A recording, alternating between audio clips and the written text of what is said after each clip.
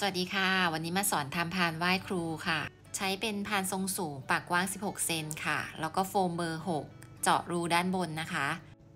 ธูปเทียนแบบสำเร็จค่ะ จากนั้นก็ให้ใส่ธูปเทียนลงไปตรงกลางที่เราเจาะรูไว้นะคะ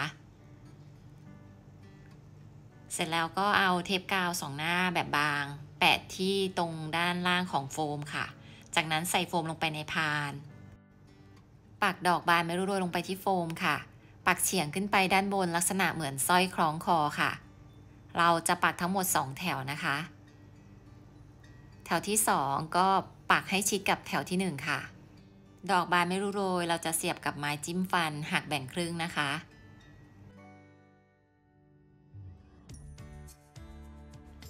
ดอกรักให้เสียบด้วยหมุดค่ะ จากนั้นก็ให้ปักลงไปในโฟมส่วนที่เหลือทั้งหมดค่ะ เวลาปักเราจะเอาด้านก้นดอกขึ้นนะคะ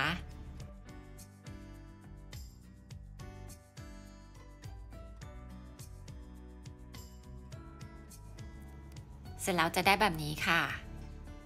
ต่อไปใช้เข็มร้อยดอกรักค่ะ เราจะเสียบดอกรักประมาณกลางดอกเยื้องไปทางด้านโคนนะคะ จะใช้ดอกรักทั้งหมด 14 ดอกค่ะ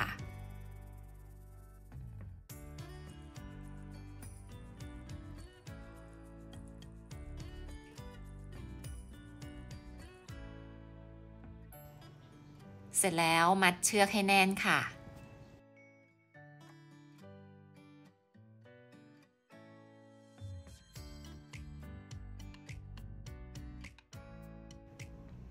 ตัดเชือกส่วนที่เหลือออก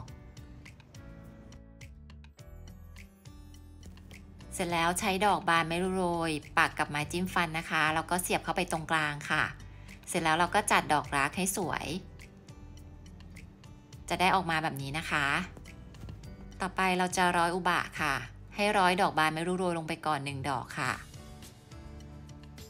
จากนั้นร้อยดอกรักตามลงไปอีก 7 ดอกค่ะ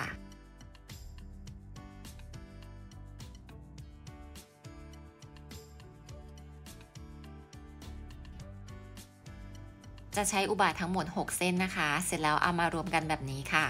จากนั้นเราก็ขมวดปลายเชือกรวมกันค่ะ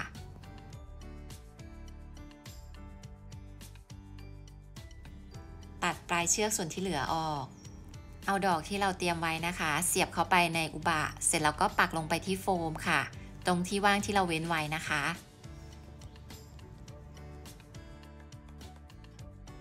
เสร็จเรียบร้อยค่ะ ลองทำดูนะคะ